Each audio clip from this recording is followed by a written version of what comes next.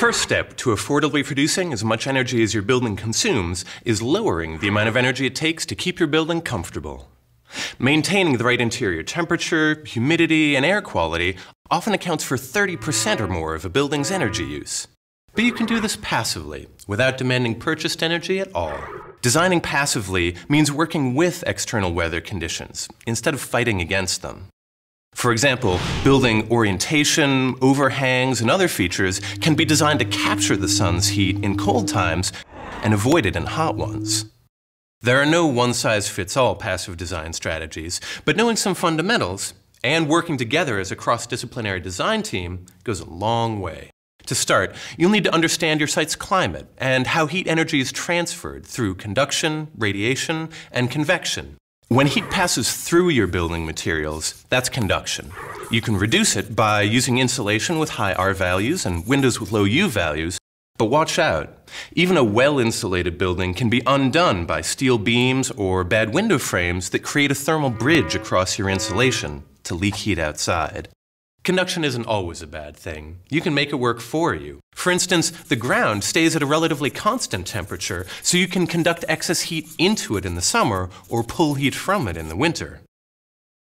Radiation, in the form of sunlight, is another major source of energy gains. The sun heats buildings, especially on dark roofs and pavement. You can minimize unwanted heat gains by choosing more reflective surfaces or vegetation. Energy also radiates in and out of buildings through windows. You can make windows work for you by optimizing the window to wall ratio on each side of the building and choosing windows that optimize how much energy passes through as infrared, visible light, and higher frequency radiation. Then there's convection, when heat energy is transferred by moving fluids like air. Air is constantly circulating within buildings due to temperature and pressure differences, Anyone who's been in a drafty building knows how powerful convection can be in moving heat. Air leaks cause up to 40% of building heat loss.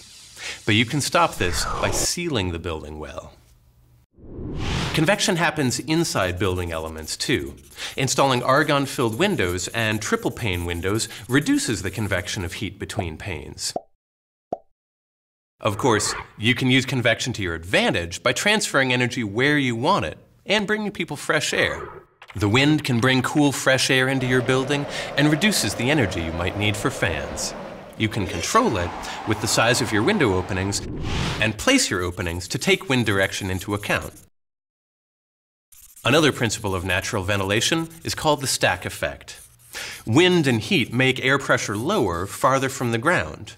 Higher pressure air then wants to move there, so if you have windows at the top and the bottom, air will naturally flow upwards with no fans needed.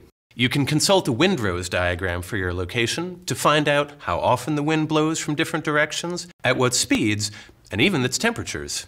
Throughout the year, and even throughout the day, environmental conditions change, so your building needs to adapt. Sensors and electronic controls can be used to turn lights off, open shades, even change windows from clear to tinted, as you begin to master how energy and air move, you'll find that working with natural forces can cut your heating and cooling energy demands in half, or even drive them to zero.